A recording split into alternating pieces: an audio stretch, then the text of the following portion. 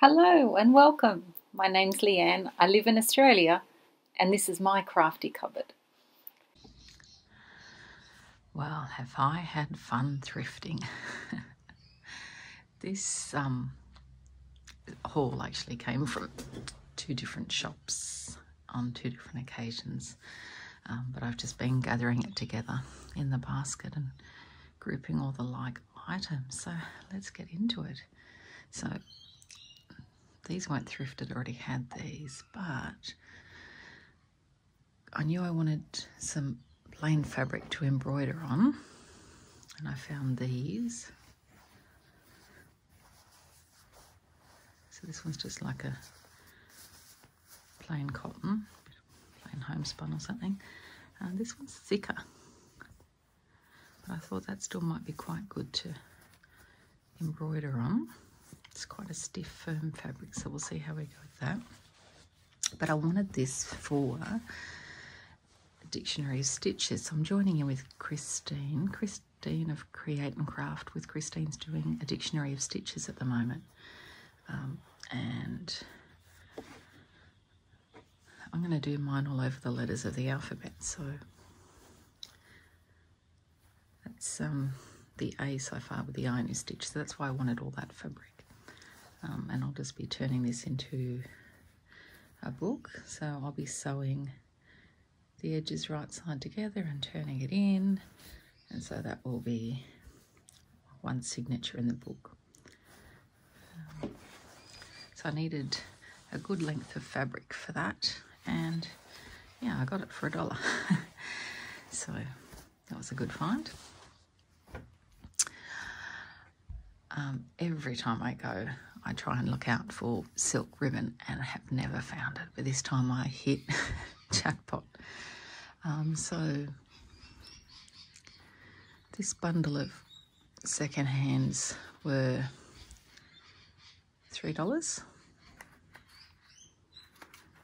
Got quite the good rainbow there and I was really pleased to find the yellows. For some reason I find it hard to get a good strong yellow silk ribbon. They're often very pale and these ones were 50 cents each. Gorgeous little rainbow of silk ribbon, so I'm very excited about that. Here in the front, um, these are all just bundles of silk and other fabrics, just scraps that I just rolled up into little fabric roses. So I thought that was a cute way to to store them, to remember that I have them. Might inspire me for a project.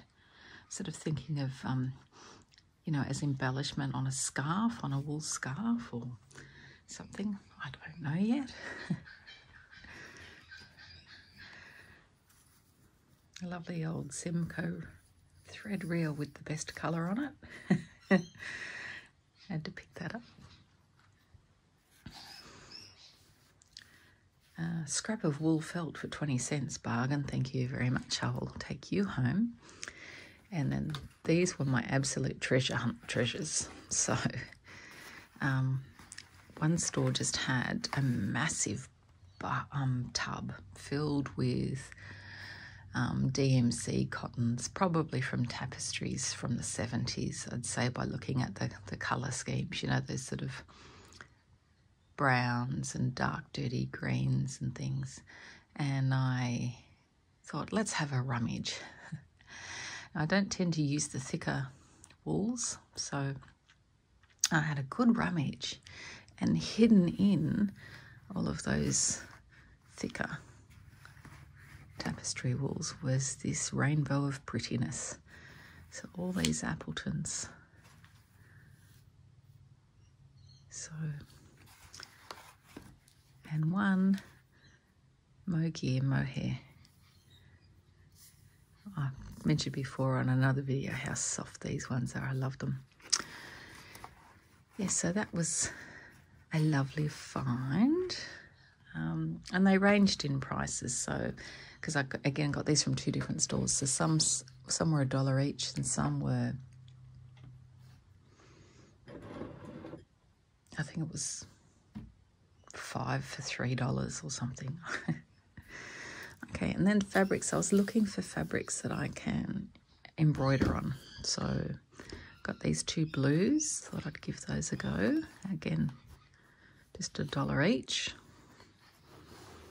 Um, this one I thought might come in useful for making sort of ribbon roses or, you know, scrunching up and stitching and a couple of organzas which work really well to lay over and add a shot of colour on the plain backgrounds.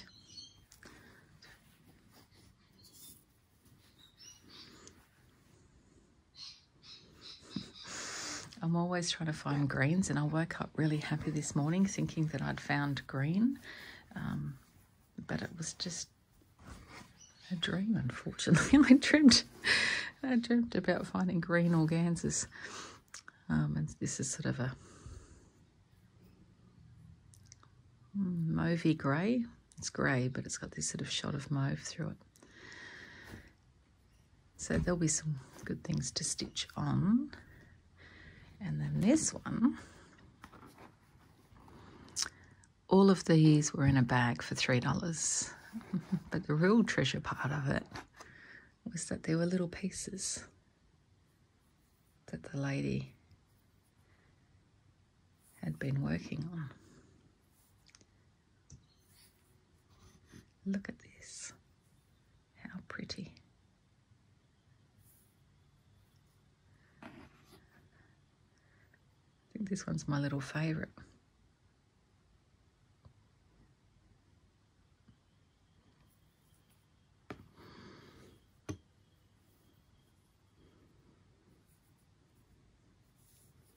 So lovely.